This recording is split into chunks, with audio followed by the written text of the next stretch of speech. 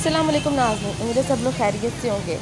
Weaver जैसा कि आप लोगों को पता है कि आज मदर्स डे है और सब देखने वाली माओ को और जो जो इस दुनिया में जहाँ जहाँ माएँ हैं, उन सबको हमारी तरफ़ से बहुत ज़्यादा नेक तमन्नाएँ क्योंकि माँ के दम से ही जहाँ में रौनक है और अगर माँ नहीं तो कुछ भी नहीं। इसी तरह वीवर जब लोग बाहर आए थे, हम लोगों ने यहाँ पर आज देखा कि एक मेहनत कश माँ है जो अपने बच्चों का पेट पालने के लिए मेहनत करती है और आज इससे बेहतर क्या मौका हो सकता है कि हम उनकी कहानी को आप लोगों के सामने लेकर आएँ और ऐसे लोगों को हम लोग को यकीन अप्रिशिएट करना चाहिए क्योंकि माँ ही वो वह ज़ात है कि जो अपने बच्चों का कदम मरते दम साथ नहीं छोड़ती और हर वक्त उनके लिए पेश पेश रहती है। तो यहाँ पर हम लोग गुजरे थे तो राह में भी सामने आप लोग देख सकते कि मुझे एक औरत नज़र आई। इसमें कहते हैं कि औरत को मर्द के शाना बशाना काम करना चाहिए और बिल्कुल यहाँ पर यही मिसाल नज़र आ रही है कि जहाँ पर इस मर्द ने रेडी लगाई हुई है, वहाँ पर उस औरत ने केलों की रेडी लगाई हुई है और यहाँ पर केले फ़रोख्त करती हैं। अपने बच्चों का पेट पालने के लिए। तो मैंने इनसे पूरी मतलब कैमरे के सामने तो नहीं है, लेकिन उन्होंने अपनी पूरी कहानी मुझे बताई है। कि किस तरह ये अपने बच्चों का पेट पालने के लिए मेहनत मजदूरी करती हैं रेडी लगाती हैं, उनके बच्चे हैं और काफ़ी सालों से वो ये काम कर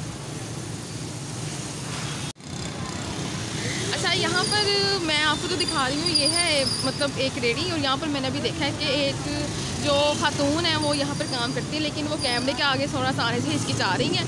तो मैंने उनसे पूछा है कि मतलब क्या है उनकी स्टोरी तो वो वो खड़ी हैं तो उनको नहीं पता कि मतलब थोड़ा सा है उनको कि मैं ना लूँ, लेकिन चले, मैंने उनकी मदद करने के लिए चाहा कि चलो उनको पता चल जाए। तो यहाँ पर तकरीबन एक एक माह से मतलब यहाँ पर काम कर रही हैं और क्योंकि वो लॉकडाउन की वजह से बहुत मुतासर हैं तो ये हैं उनके, वो खड़ी हैं, वो अम्मा जी, और यहाँ पर वो काम करती हैं। तो मुझे बहुत, मैं इनसे बहुत मुतासर हुई इस वजह से मुतासर हुई हूँ कि एक तो ये कि बजाय इसके कि वो लोगों के आगे हाथ फैलाएँ और लोगों से पैसे मांगे, भीख मांगे या उन्होंने अपनी यहाँ पर मेहनत भी क्योंकि अजमत है, आप सब लोग जानते हैं, मेहनत में अजमत है तो यहाँ पर वो मेहनत कर रही हैं, हलाल रिजक कमा रही हैं और मैं, हम लोगों को बल्कि पूरे माशरे के लोगों को अप्रिशिएट करना चाहिए। हम लोग उन लोगों को तो बहुत देखते हैं, जो लोग भीख मांगते हैं, हाथ फैलाते हैं और हम लोग उन पर तर्ज खा के उनकी मदद कर भी देते हैं। लेकिन तर्ज भी उन्हीं पर खाना चाहिए, मदद भी उनकी करनी चाहिए, जो डिज़र्विंग हो। तो मुझे ये बहुत मुतासर किया इन्होंने और मैं बहुत मुतासर होकर इनसे मतलब पूछा मैंने कि आप यहाँ पे काम कर रही हैं। इनकी फैमिली है जिसकी सपोर्ट करने के लिए वो यहाँ पर काम कर रही हैं। और इसीलिए मैंने यहाँ पर बनाई है, मैंने कही, इनकी रेडी है। तो यहाँ पर जो है वो गाहक आते हैं, इनसे लेते हैं। तो इस तरह के लोगों को ज़रूर ज़रूर सपोर्ट करें। ज़रूरी नहीं कि आपने कोई चीज़ लेनी हो तभी इनसे ख़रीदें। और अगर कुछ ना भी लेना हो तो आप इनसे ले सकते हैं। क्योंकि हमें इनकी मदद करनी चाहिए, ना कि उनकी जो डिज़र्विंग नहीं होते और सिर्फ़ वो पैसा कमाने के लिए लोगों को परेशान कर रहे होते हैं या खुद को भी तंग कर रहे होते हैं। इसलिए बेहतर है कि आप ऐसे लोगों की मदद करें जो डिज़र्विंग नहीं है और जो मतलब हलाल इज़्ज़त कमा रहे हैं क्योंकि मेहनत में अजमत है और उन्होंने इस बात को साबित कर दिया तो ये मेरा छोटा सा व्लॉग था, क्योंकि मैं यहाँ पर बाहर आई थी।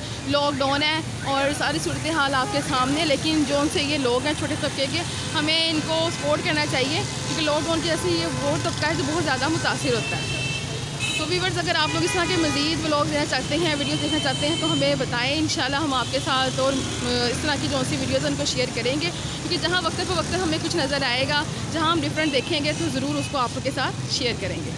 तो वीवर्स अब आप लोगों से जा चाहते हैं इन एक नई वीडियो लेकर दोबारा हाजिर होंगे, तब तक के लिए अल्लाह हाफ़